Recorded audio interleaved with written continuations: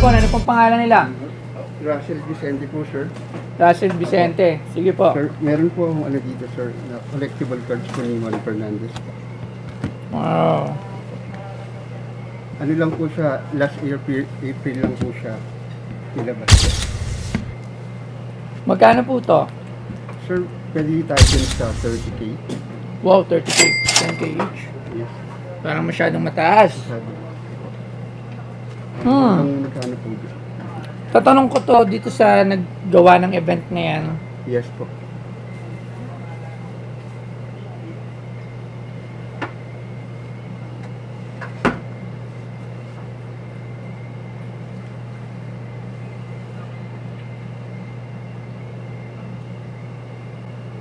Kailang.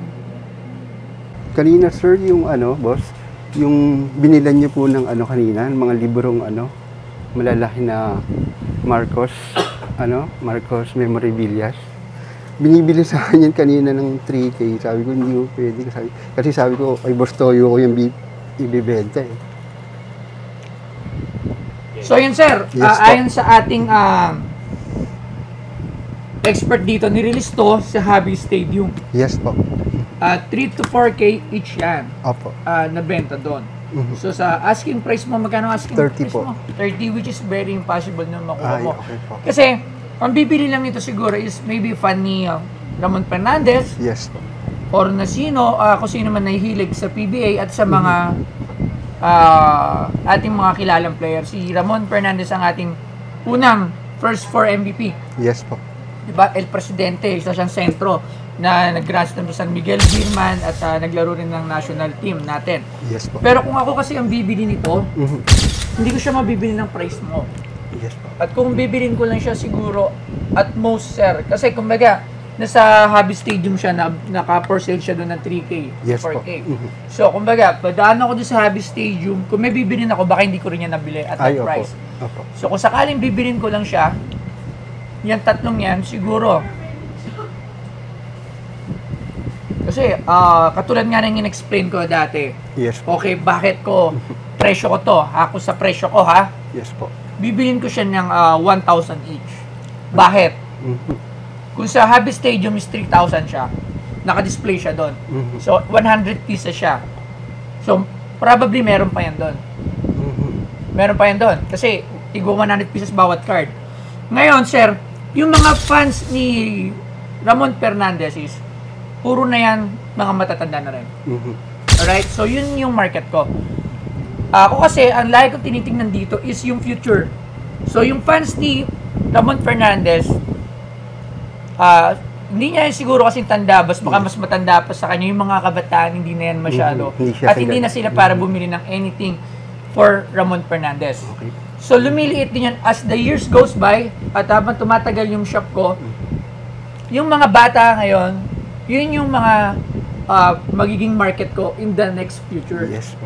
Mhm. So, if I would invest something like sa card na ganung halaga, Mhm. mag-invest ako sa mga NBA card na sikat ngayon or mga PBA card na sikat ngayon Yes. para in the next generation, there would be a customer at a buyer. Yes po. Kasi ito, yung buyer niyan, sir, ilan na lang din. Hindi ko sinasabi, kahit ako, naabutan ko si Fernandez, pero hindi ko siya gusto Mhm. as a collection.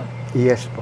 Mhm. Di ba? So, I hope na naintindihan mo, ah, hindi ko sa inaano si ah, si El Presidente, napakagaling talaga niyan, first Mhm. for MVP natin yan. Pero I would say, hanggang dun ko lang siya kayang bilhin. So, I hope na-explain ko sa inyo at napaliwanag. Pero good catch to, okay naman siya. Kaso nga, marami pa yun dun maramang sa ah, Habi Stadium. So, kasi tigo 100. Kasi sa NBA card nga, eh, meron din mga auto patch doon, Mhm. nabibili din lang ng mura. So, yun sir, mara, pasensya na at ah, hindi tayo magkakasundo sa presyo. Yes. Sige, The sir. most na mabibigay ko dyan is 3,000 yung tatlo. 3,000. Sir, pwede natin dagdagan na lang miski na 1,000? 4,000 yung tatlo. Opo. Oh.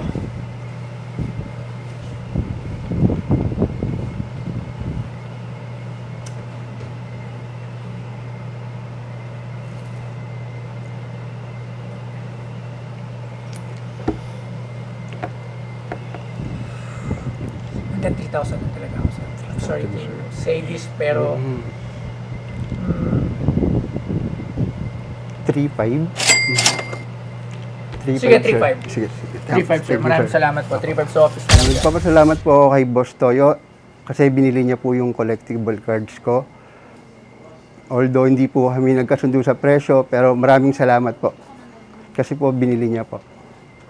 Dennis. Taga kay 8. Ah! Kailangan sir! Apo. Ikaw pala yan. Apo. Sige. Sir, dalawa ko yung ano ko. Jacket ko na 8-0 na Olympic. 8-0 na Olympic. Ah, ano ba yan? Nike po. Yan, nila Kobe, eh na Michael Jordan. Hmm. 8-0 Ah, Olympic. USA. Ah, Dream Team. Wow. Ah. Ganda ah. Oo. Pang-vintage eh, Oo, no? oo. Ito po yung ano. Hong Kong release po yan, sir. Hong Kong release. Hmm. Ganda eh, no? Ano, baby wear sino. Sa mga thrift shop, maraming bibili nito. Oo. Sa mga may sa mga vintage, Oo. yung sa mga parang mga upo. Ah, ang ganda ah. Oo. Wow, tingnan mo, tingnan mo Yuki. Hindi na nakalagay yung USA score. Yes po. 116 Angola. Putya, ilan lang score? Parang 46 lang. Oo, tambak lagi, tambakol, no? Anong year to ulit? Ah, 20 1996 yung Olympic na 8-0 sila. Ito yung Dream Team 1. Ah, Dream Team 1. Yes. 1986. Oo. Sila Michael Jordan. So, 1986 yung jacket na to. Pero nilili siya sa Hong Kong is 2000. Ah, 2000. 2000. USA mo. Hmm. Ganda rin, ha? Alright to, ha? Putya, maangas to kasi kahit pa paano. Wow. Ang size na to. Oo, yun ang Kano mo naman ito binibenta? Sir, ano? 25. Wow. Hmm. 25. Medyo. Ano pa dala mo? Ah, dala ko rin po yung mga collectibles ko nung binata pa ako na sombrero po. Jordan. Ah, mga Ah, vintage Jordan, yes, cap. oo. Air Jordan 4. Tapos Air Jordan Sayang 20. yung ano. Ah, hindi ko alam kung 20, 20 yan. Tapos ito pang tennis si Jordan nung nag-golf siya pala. Bakit nangongolekta ng mga Jordan? Anong araw kasi sir, gusto ko lang mag-collecta eh. Nagamit mo na na itabi. Ah, one, one Ito Jordan na na to? Nine? Ah, yung yung yun po, yan, yung gano'n, yung check sa likod, yung square tri- triangle sa likod, yan yata po yun. oh. Ano ba Jordan yan? Ah, Parang nine nata yan eh. Tapos meron ako Yan yung may peace sign eh. Ah, hindi. Yung, hindi ko alam kung 20 yan, yung red. Oo, hindi ko sure. Ah, Kasi ito yung mga ano ko, yung Tracy McGrady ko, tsaka Lebron. Yung mga- Lebron, oh. late na lang yan eh. Mga yung unang lumang Lebron ni Lebron, sir. Oh. Yan. Mm. Galing ah. Oo. Ito ah. Ah. Oh, ito ang ganda. Ah. Oh, Visor. visor. Oh. Yan yung nag-golf si, ano, si Jordan. Yan yung suot niya. Wah, magkano naman yan? Ah. Alam mo, mabibili to sa mga vintage community. Hmm. Sa vintage community, maraming mga may gusto ng mga ganyan, mga... Oo. Ito, itong visor, nagandaan nga ako dito. Angas. Yun. Justin Bieber. Justin Bieber. Magkano naman yan? Ito kasi, ah, I sell it, ano, 7,000. Last price ko yan, 6,000. Each. Kasi ito, ito, bindi ko siya, Air Jordan 4, nasa 4,000 na. Way back, nung 1996. Uy, maganda yung mga condition ha. Uy, Oo. maganda yung mga condition niya. Oh, I- siyempre po. One wear lang yan kasi kailangan lang eh. to. Ah. I-perform lang Oo. ulit. Hmm, kasi parang Pero okay siya. sa Jordan, Oo, kung sa Jordan mga daw. sa Jordan, Oo. it will definitely a catch for them kasi nagaganda ng condition pa. Alright ah, ito din oh. Yes, Mga- oo. Mm-mm. Talagang iningatan ko kasi, ano, sabi ko, by the time na kinolect mo siya. Itong Lebron, mo. ayoko niyan. Okay, siya, siya. Hindi, joke lang. Hindi, hindi, joke lang, joke lang. Pero, uh, parang, so magkano ito lahat? Sige, magkano lahat? Ah,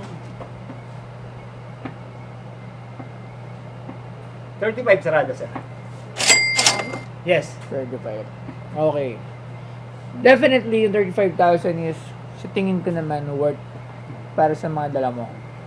Alright? Pero hindi siya dito para sa Pinoy Pawn Star. Kasi, um, kung ako bibili nito lahat, at bibilin ko yan. Lahat na nang nag-vintage. Hindi, ah, bibi kasi, hindi yan yung ano, um, hindi yan yung mga hinahanap ko. Pero to, maganda sana to. Pero not for the 25,000 eh. Pero I'm sure na merong bibili rin ito, lalo sa mga vintage group. At ah, mga talagang may gusto. Katulad nga nito, ang ganda kasi nito. oh. Yes, oh. Dream Yeah. Team 8-0, no? Maangas siya. Pero kasi kung ako bibili yung lahat, hindi siya ma... Alam ko hindi ka matutuwa. At hindi rin yung tamang price para dito. You will definitely get a sure buyer sa mga vintage group at Marami mga collector ni eh, mga Jordan. Yes, oo. At ah, sa tingin ko naman, your price is reasonable naman. Kasi kung ako bibili nito, babilin ko lang yung lahat-lahat yun. Parang mga... Ah, ang hirap kasi hindi ko talaga siya... Hindi siya para sa shop eh. Hindi siya para sa Pinoy Pawn Star. Kasi medyo mas maaga pa siya. Kung bibilin ko siya, baka bilhin ko na siya ng parang mga 10,000, ganun lahat na yan. So, which is very, hindi siya tama para dito. Makakakita ng mas ibang buyer nito at sa tingin ko naman okay siya. At ako na nagsasabi na okay talaga. Tignan natin jacket kasi yung mga jacket niya ng mga Nike ngayon, mga 6,000. Yes, oh. Di ba? Oo, no, angas din, no? Kaya maganda, maganda. Mga dream team, oh. Ah, siguro I will pass. Okay, sir. Magpapas na lang muna ako dito sa mga dala mo. Pero definitely ang ganda ng ang ganda nito. Hindi, malay mo merong, pag nilabas Oo. to, ang Oo. daming collector. Oo, maganda, ng mga maganda to. So, vintage na- ah, iwan mo na lang yung contact number mo. At ah magkano ang tasking mo nito lahat? 30 eh, no? Malay mo, may buyer tayo ng 30,000 for this. Yes. At ah, mag-message sa Pinoy Pawn Star. At ah, may contact number kami ni Kuya at kakilala ko naman to. Ah, kapitbahay lang namin siya doon sa may K8. So, pag may bumili at may interesado dito sa mga Jordan Yes. cups mo, ibibigay ko agad sa'yo yung number. Okay, sir. Alright? Yes. Maraming maraming salamat. Ayoko sumama ang loob mo sa Yes. tawad ko, kaya hindi ko siya saka, No, At ibenta mo yun sa right buyer. Yes, oo. Kasi patulad nga sinabi mo, ito maganda rin ito eh. Yes, Totoo naman, 4,000 sigurado ito yung mga Ah, panahon dito. na. Oo. So, may Jordan 4 oh. Hmm. Ano nga oh. Diba oh. Maganda, maganda talaga siya. Cement, black cement pa to. Ah, oh. Black cement pa. Di ba? Hmm. Oo, maganda, maganda. Ito nga, trip na trip ko nga ito eh. Justin Parang Bieber. ang si ano, yung... Oh. Sino? M&M. ko. Justin Bieber nga ito. Hindi, maganda nga ito eh. Ito nga parang gusto ko, tingnan ko nga kung bagay.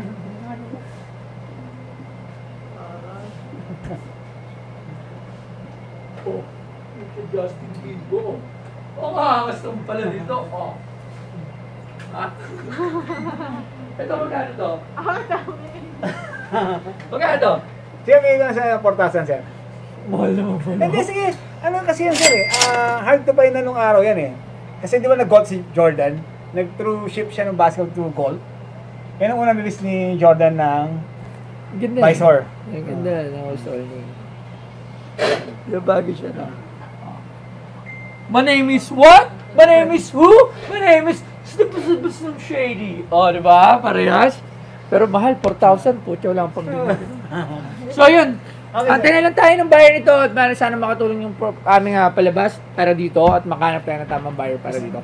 Maraming maraming salamat Thank sir. you, Thank you, thank you for time. Thank you, thank you. Maraming maraming salamat bro. At ah, alam nyo, malamang may makakapag ma- makakita nito at malalaman yung tamang presyo para dito. Alright, maraming maraming salamat sir. Thank you, thank you po. Thank you. Magandang hapon po. Ah, sad to say, yung dinala kong item ko na mga Jordan, hindi nakakuha ni Boss Toyo. And sana next time may kumuha na. And thank you, Pinoy Pawn Star, eh mabuhay kayo. Yes! Palit yan.